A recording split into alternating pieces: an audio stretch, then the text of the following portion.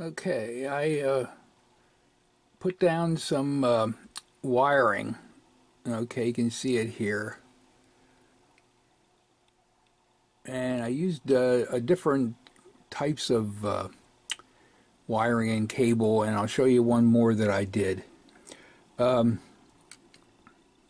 the wiring that I use is actually from this roll and is very, very, very um, I'll say probably like 36 gauge wire.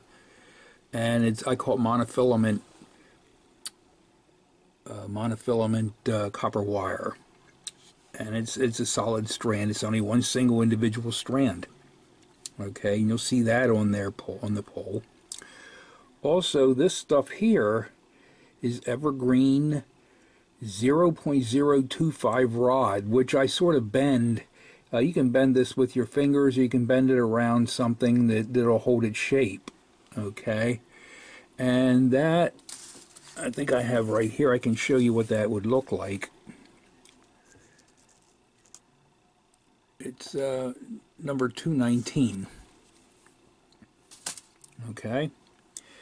Um, down the pole here for this tubing, that you see along the uh, side of the pole because I'm routing wire down through. I use a uh, tubing that's maybe uh, an eighth inch, and I think I, I, think I said before what number that was. It's uh, number 230, I believe. Um, I glued these on, and I also used an eyelet, which is that little round thing here. It's a little uh, little piece of metal that I have. I have those. I have several of those in a drawer. The reason that I put that on there is that's about maybe halfway down the pole. I'm going to put this on where I can loop it on, and it sort of represents a cable that'll go from pole to pole. And it's just, you know, a piece of maybe 24 gauge wire, uh, and I put a loop on the end. Now you can use solid wire and it might even be better than the stranded stuff for doing a loop. But this will loop inside that eyelet and I can remove that if we need to do any, uh, like remove the poles or anything. Okay, this here is just paper. This paper strip that I cut out of a piece of paper and I use that on the pole when I do these uh, I don't know if you can see them, these bands that go around the poles and such. Okay?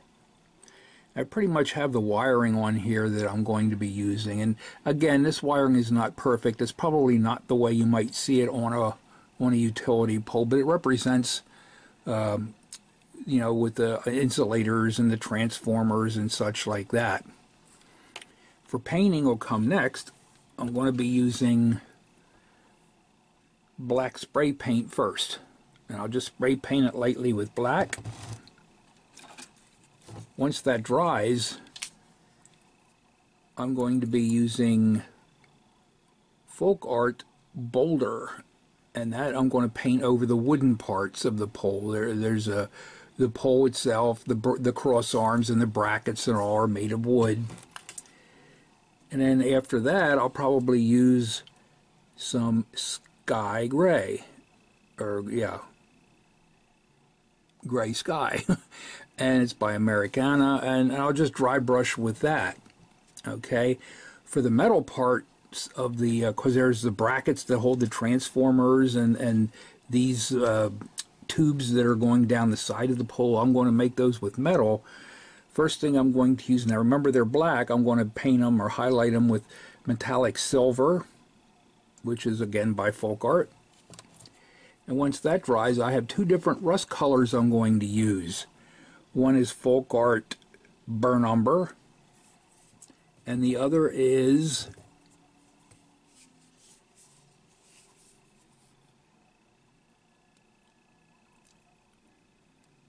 it's by Anita and it's called Rust Red okay and I'm just going to be streaking or spotting with that for I have a little bit of rust. So the next time you see this pole it'll probably be painted the transformers I'll probably paint a light gray that uh, gray sky color. Then after that's all done I'm going to use a raw umber. I'll be using uh, probably be using like a raw umber wash over the pole and uh, that'll sort of bring out maybe the highlights and stuff. Sometimes I use India ink and alcohol. Uh, I may use that too. I'm not sure, but uh, I'll see what the uh, raw umber wash would look like.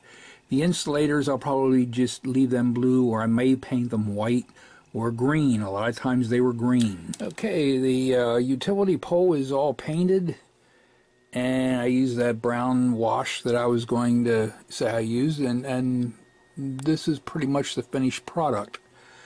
Um, now, for installing it on the layout, like I said, I want these to be removable. So let's pretend this piece of blue styrofoam here is the layout. Um, what I do is, of course, I'll paint uh, a glue in a toothpick, a square toothpick, and you can buy those in the store. They're uh, you know the grocery store or anything like that would have tooth square toothpicks or or hobby shops. And like I said this uh, pole has a tube on the bottom. That's what was made of. So what I'm going to do is to very carefully once I glue that toothpick into the layout then all I do is slip this down over top. And I carefully work it down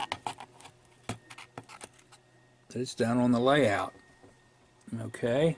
And if you remember that little hook that I had on the one side, you see it right in here, that's where I can loop these pieces of wire from pole to pole, and that serves as the cable uh, down here at this level. Okay. And uh, usually they're not at the very top. Now at the top of the wire, I'll, I'll loop uh, some of that monofilament wire and I'll put little loops and I'll loop them from the top of these trans uh, these um, insulators across to the next pole. So that's how I can remove stuff if anybody needs to do any work or anything like that and the poles won't get bumped, broken or anything else. So hopefully this uh, video helps you out if you want to try to get into modeling utility poles. But again, it's very you need a lot of patience to do that. Um, and there's probably other ways to doing this, and I'm sure uh, there's a number of people out there on YouTube that do wonderful jobs.